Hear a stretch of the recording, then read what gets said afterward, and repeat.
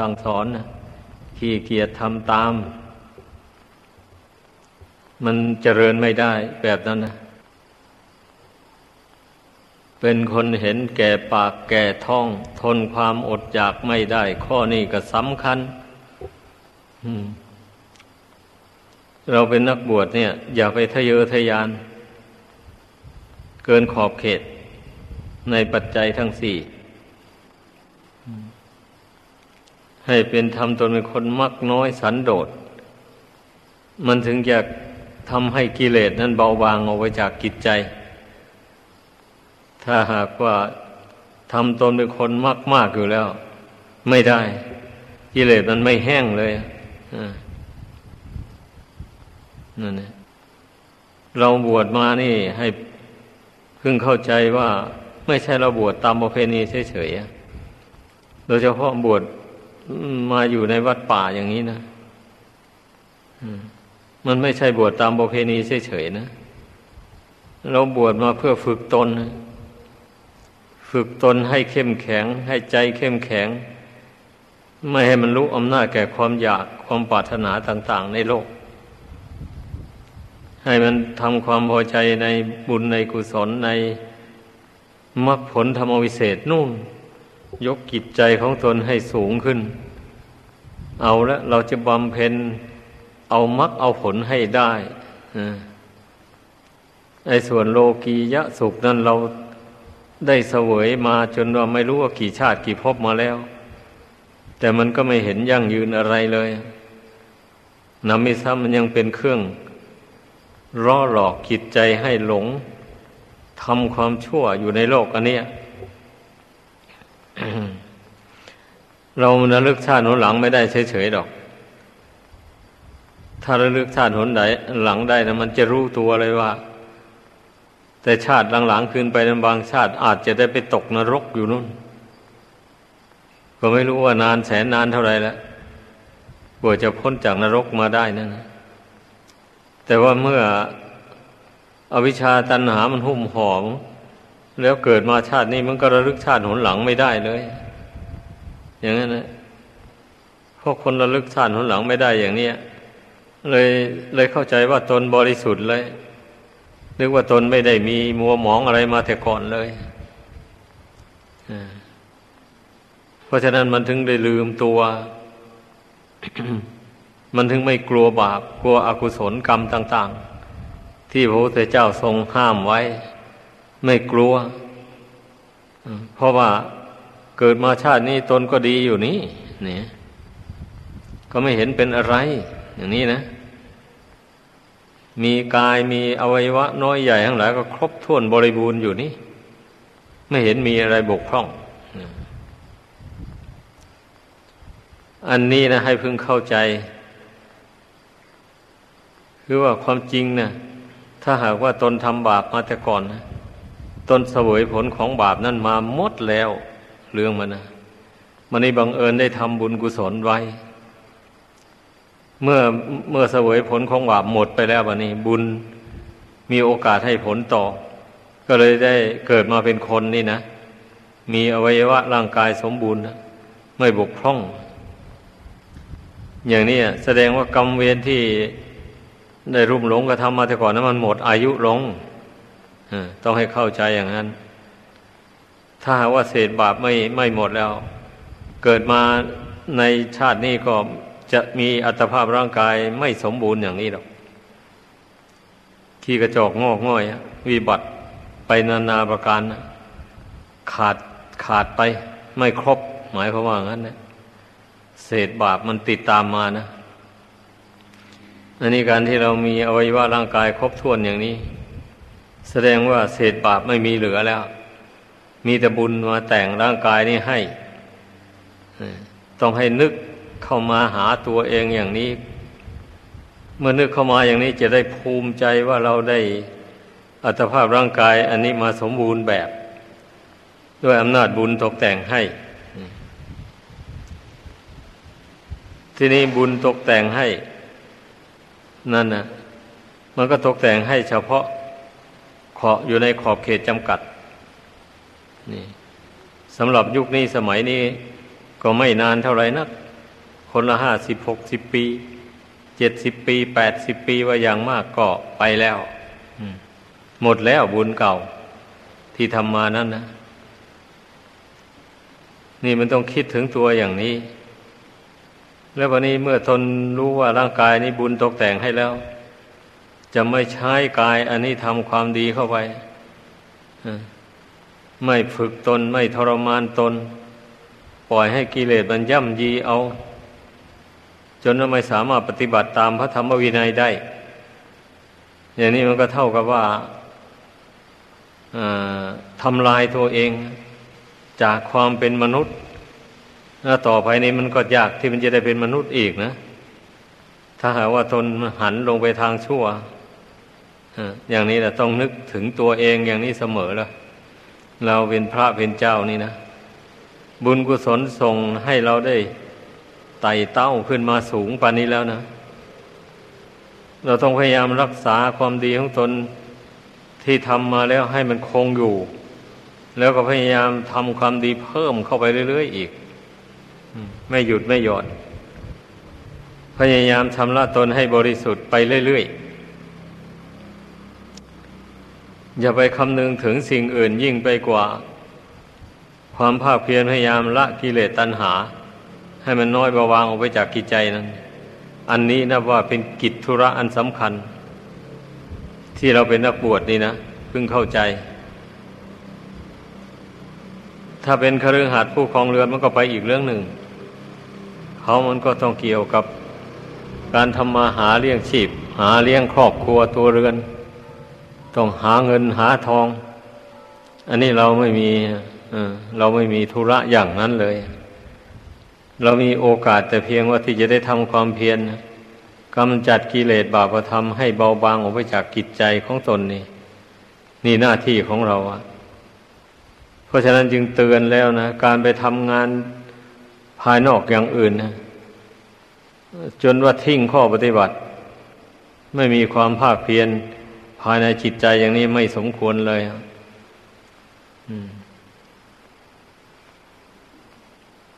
บุญอันใดมันจะเท่ากันกับบุญที่เราทำความเพียรละกิเลสตัณหานี่ไม่มี ให้เข้าใจอย่างนั้น ผู้ใดละกิเลสตัณหาได้ ลงไปอย่างได้อย่างหนึ่งลงไปก็โอ้ยได้บุญโขเลย ได้บุญมากต้องให้เข้าใจอย่างนั้น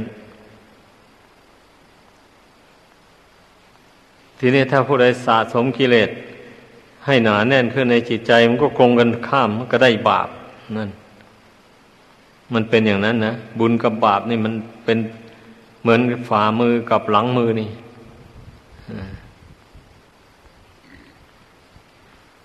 ดังนั้นเรามีโอกาสที่จะได้ทำความเพียรละกิเลสได้เต็มทีแล้วการที่เราได้บวชเข้ามานี่ ต้องคิดให้ดี เราไม่ได้ทำไรไทยนาไม่ได้ทำการค้าขายอะไรเลยชีวิตของเราก็ฝากไว้กับชาวบ้านนะนั่นแหละชาวบ้านเขาก็ยินดีสนับสนุนเต็มที่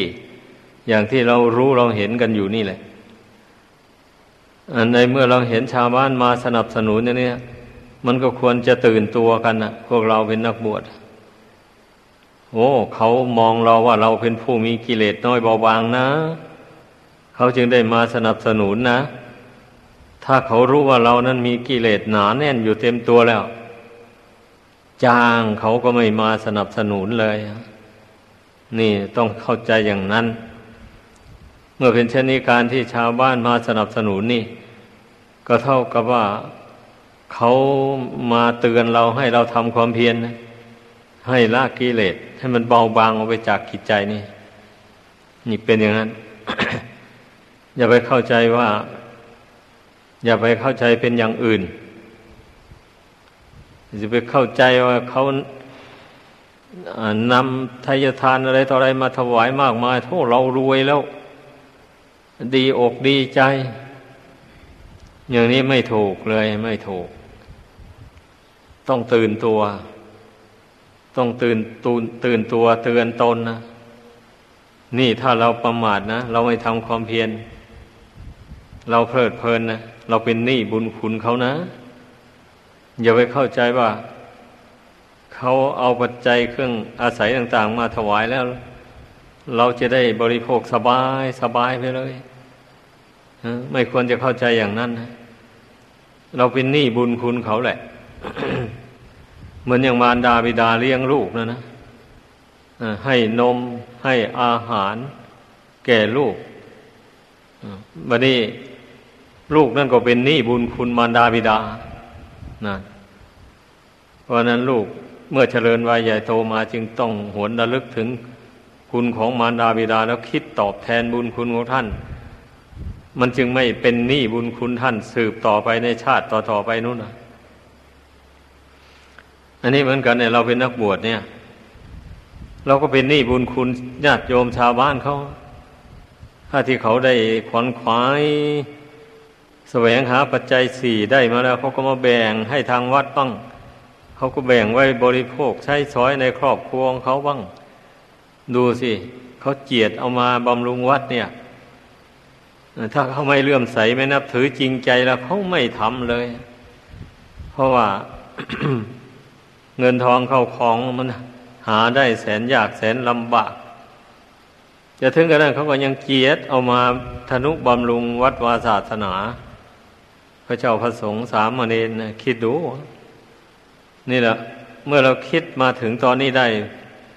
เราจะได้ตื่นตัวกัน จะไม่ประมาทจะเป็นผู้สำรวมระวังตนในธรรมวินัยด้วยดี ไม่ล่วงเกิน แล้วก็พยายามชำระกิเลสตัณหาให้เบาบางไปจากกิจใจของตน นี่ถ้าหากว่าเราพิจารณาเป็นนะ ญาติโยมที่เขามาสนับสนุนอุปถัมภ์บำรุงนี่ ก็ก็จะไม่มีโทษแก่เราผู้รับทานชาวบ้านเขาเรียกว่าเรารับทานแบบที่ว่ามีสติ ไม่หลงลาบสการะ ไม่ลืมตัว นี่ มีอุบายเตือนตนให้ประกอบความเพียรละกิเลสตัณหา ให้น้อยเบาบางไปจากกิจใจ ก็ขอให้พากันเข้าใจตามนี้ เมื่อเข้าใจได้อย่างนี้แล้วก็เออก็นับว่าจะเป็นผู้เจริญในพรหมจรรย์นี้ได้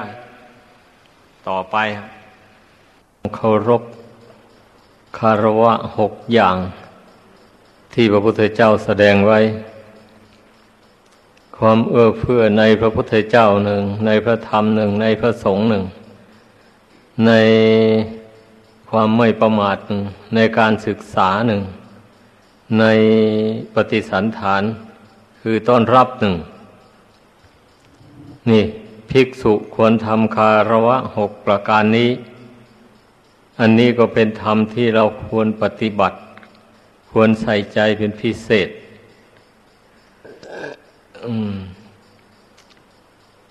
ผมเอื้อเพื่อในพระพุทธพระธรรมพระสงฆ์ อันนี้ก็หมายถึงว่ามันระลึกถึงอยู่เสมอระลึกว่าเราเป็นสาวกของพุทธเจ้าระบวชอุทิศต่อพุทธเจ้า พระพุทธเจ้านั่นพระองค์เป็นผู้ละอาสวะกิเลสให้หมดสิ้นไป แล้วก็ทรงสั่งสอนให้ผู้อื่น เพียรพยายามละกิเลสตาม ไม่ใช่พระองค์สอนให้คนสั่งสมกิเลสนี่ เราต้องนึกทบทวนอย่างนี้เสมอ มันถึงจะมีกำลังใจ ก็เมื่อเรามาปฏิญญาณตนเป็นสาวกของพระองค์แล้วนะ ก็ต้องเห็นโทษของกิเลสต้องทำความเพียรละกิเลสไม่เห็นแก่ความยากความลำบากความเหน็ดเหนื่อยเมื่อยล้านี่ มันก็ยังสมกับว่า เรามาอุทิศชีวิต ต่อพระพุทธเจ้าผู้ประเสริฐในโลก พระองค์จะประเสริฐได้ก็เพราะพระองค์ละกิเลสนี่เราก็รู้กันอยู่นี่เราจะประเสริฐได้ก็เพราะเราละกิเลสตามพระองค์เหมือนกันนั่นแหละให้พึงเข้าใจเราจะเลวได้ก็เพราะเราไม่ละกิเลสบวชเข้ามาแล้วนะ เมื่อไม่ละกิเลสแล้วมันก็ความประพฤติมันก็เหลวไหลไปแล้ว มูอยู่ในร่องในรอยเลยเป็นอย่างนั้น เมื่อเราเคารพในพระพุทธเจ้า ก็ต้องเคารพต่อพระธรรมวินัย นี่ มันก็ต้องเป็นอย่างนั้น เพราะธรรมวินัย พระพุทธเจ้าก็เป็นผู้ทรงสั่งสอนและแต่งตั้งบัญญัติไว้ ให้ภิกษุสาวกทั้งหลายนั้นปฏิบัติตาม แม้พระสงฆ์สาวกของพระมีภาคเจ้าที่ท่านปฏิบัติดีปฏิบัติชอบ ตามคำสอนของพระพุทธเจ้าจนได้บรรลุมรรคผลนิพพานล่วงมาแล้วหลายเป็นจำนวนมากนะเราก็ระลึกถึงท่านเสมอ ว่าท่านเหล่านั้นท่านก็มีธาตุสี่ขันห้าเหมือนกับเรานี่แหละ ไม่ใช่ว่าแปลกอะไรแล้วพูดถึงรูปร่างแล้ว แต่ว่าท่านมีความเพียรใหญ่ท่านมีความบากบั่นมาก เหตุนั้นท่านจึงละกิเลสตัณหา ขาดจากสันดานได้ แม้เราก็เหมือนกันนะ ถ้าว่าเรามีความบากบั่นมั่นหมายมีความเพียรสำรวมตนอยู่เสมอไปไม่ท้อถอย ตนก็จะต้องละกิเลสได้เหมือนกันนะกับภาษาวกทั้งหลายที่ท่านล่วงลับ ดับขันเข้าสู่นิพพานไปแล้วนั้นนะก็ต้องให้พากันพยายามนึกอย่างนี้เสมอเสมอไปมันก็ถึงจะมีศรัทธามั่นในพระสงฆ์สาวก ของพระพุทธภาคเจ้า เราก็จึงจะมีความเคารพในพระสงฆ์แม้เราอยู่ร่วมกันในปัจจุบันนี้ก็เหมือนกันนะ ทุกคนมันก็ต้องเคารพในสงฆ์เรียกว่าเคารพในหมู่ ในคารวะหกนั่นนะท่านยังกล่าวว่ามีความเคารพแก่กล้าในพระสงฆ์นั่นนะต้องทำความเคารพอย่างแก่กล้าในสงฆ์นี่นะคือเมื่อสงฆ์มีมติอะไรออกมาแล้วนะ ระเบียบอันใดมติอันใดซึ่งชอบด้วยธรรมวินัยละเราต้องเคารพต้องทำตาม นี่นะ อย่างนี้ก็จึงได้บอกเคารพเคารพแก่กล้าในพระสงฆ์มันทำยังไงกันอยู่ล่ะฮะเหลวไหลอะ เขาเตือนแล้วหลายครั้งแล้วนะ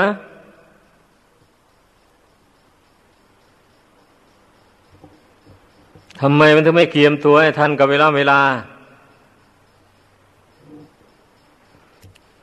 คนจะดีได้เขาต้องเคารพต่อระเบียบสิมันไม่เคารพต่อระเบียบมันจะดีได้ยังไงอะ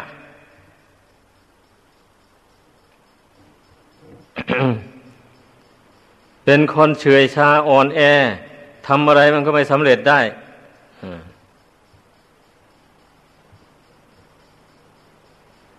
อย่าไปทำตัวเป็นคนอ่อนแอสิ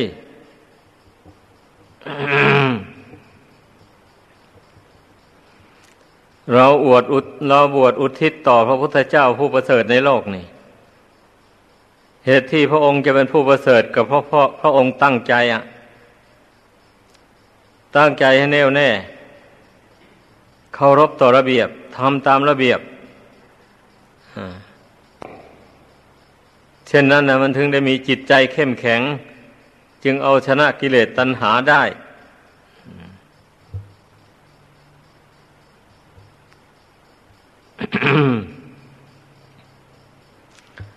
เคารพต่อการศึกษา นี่ อันนี้ก็สำคัญนะก็นบคารวะหกประการนี้นะ ผู้ใดปฏิบัติตามได้ ได้ชื่อว่าเป็นผู้เข้าใกล้ต่อพระนิพพานไม่ใช่ย่อยๆนะ เป็นผู้ปฏิบัติใกล้ต่อพระนิพพานเป็นอย่างนั้น เพราะนั้นอย่าพากันเกียดคร้านการศึกษา บางคนนะ่ะพื่อนตีละครั้งแล้วยังเฉยเมยอยู่ออย่างนี้มันไม่ชอบนะ ไม่ถูก เราต้อง เคารพต่อระเบียบ เช่นระเบียบว่าเก้าโมงนะ ต้องเตรียมตัวมาขึ้นเรียนกันอย่างนี้หรือว่าสิบโมงก็แล้วแต่ที่ตกลงกันนะใกล้จะถึงเวลาใช่ไหมมาแล้วก็ต้องเตรียมตัวมาให้ทันกับเวลา มันต้องอย่างนั้น การเรียนน่ะ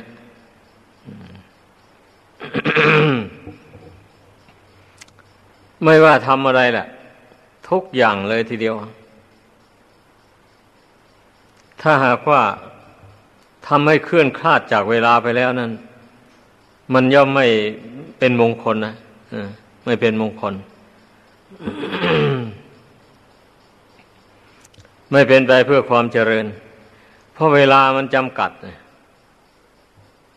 อย่างเช่นการศึกษาเราเรียนอย่างนี้แหละ มันไม่ใช่มีแต่หน้าที่การศึกษาเราเรียนอย่างเดียว การงานธุรกิจการงานต่างๆ มันก็ต้องมีเวลานั้นทำอันนั้น เวลานั้นทำอันนั้น ไม่ว่าการงานทั้งโลกทางธรรมเหมือนกันหมดเลยอะมันมันมีเวลามันแบ่งเวลาไปทำการงานไปแต่ละอย่างละอย่าง เพราะฉะนั้นเราต้องรู้สิเพ ราะเวลาจำกัดนี่ ถ้าปล่อยให้เวลานั้นมันล่วงไปเสียแล้ว งานนั่นก็เลยไม่ได้ทำทำก็ไม่ได้เต็มเม็ดเต็มหน่วยอย่างนี้อะ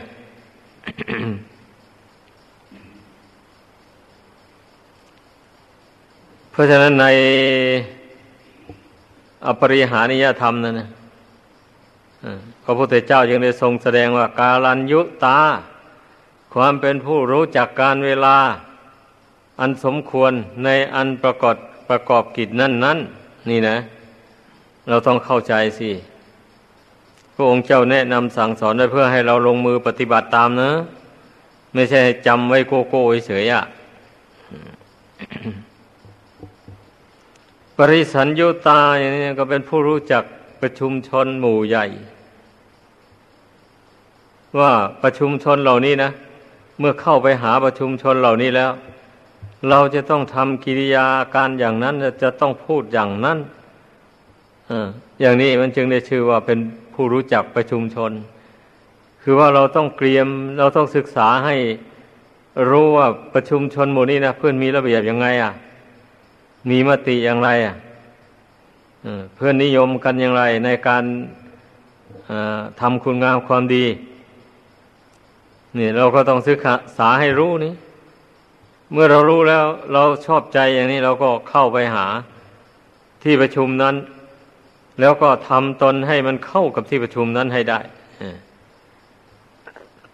เรียกว่าปรับปรุงกายวาจาใจของตนให้มันเข้ากับที่ประชุมนั้นให้ได้ อันหมูนี้นะเป็นคุณธรรมที่เราจะต้องปฏิบัติกันทั้งนั้นเลยนี่ เพราะว่าเราก็อยู่คนเดียวไม่ได้อะมันก็ต้องอยู่กับหมู่ ต้องมีหมู่แวดล้อมอยู่นะ จึงค่อยอยู่กันได้นี่มันเป็นอย่างนั้น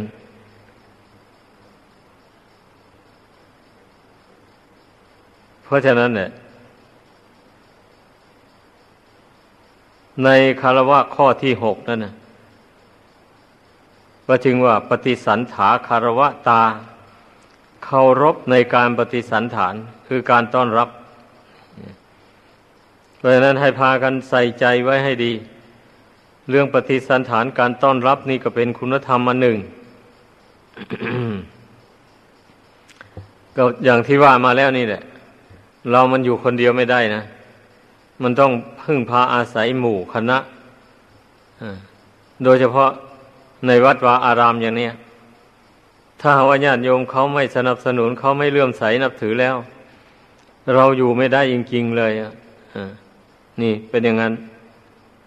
เพราะฉะนั้นต้องฝึกไว้ทุกคนเลยเมื่อเห็นแขกคนไปมาอย่างนี้แล้วใครเห็นเขาแล้วก็ต้องปฏิสันฐานแล้วต้องต้อนรับพอเชื่อเชิญให้ไปนั่งที่ไหนก็เชื่อเชื่อเชิญ หรือไม่เช่นก็ถามไทยดูก่อนว่า มาประสงค์อะไร อย่างนี้นะ ถ้าออมาต้องการอยากพบครูบาอาจารย์อย่างนี้ไม่เป็นไรเชิญ ตามมาจะพาไปพบที่ศึกษาในปัญญาศึกษาในศีลศีลของสมณเณรสิบข้อนั้นนะ ให้พากันใส่ใจนะ เนนที่บวชใหม่นี่ก็ดี ต้องใส่ใจ ลืมหมดแล้วมั้งปะเนี่ยฮะ นั่นต้องใส่ใจนะ ไม่ใส่ใจเดียวไปล่วงศีลโดยไม่รู้ตัวศีลข้อที่หนึ่งนั้นท่านห้ามไม่ให้ฆ่าสัตว์ ตัวน้อยตัวใหญ่ตัวเป็นให้ตาย และห้ามไม่ให้ใช้ผู้อื่นฆ่าด้วยเป็นอย่างนั้นศีลข้อที่สองห้ามไม่ให้ถือเอา สิ่งของที่เจ้าของเขาไม่ได้ให้ ด้วยอาการแห่งขโมย อันนี้มันชอบจะมีอยู่นะ ให้พึ่งสังวรไว้ให้ดีอย่างที่เคยเตือนมาแล้วเนอะอย่างว่าของที่อยู่ในกุฏิใหญ่นั่นนะใครอยากได้เราไปช่วยไปจับเอาไปเลยไม่ได้นะต้องให้เข้าใจ นี่ร่มนะเราหาให้จนว่าดูมันจะทั่วทุกคนแล้วนี่นะ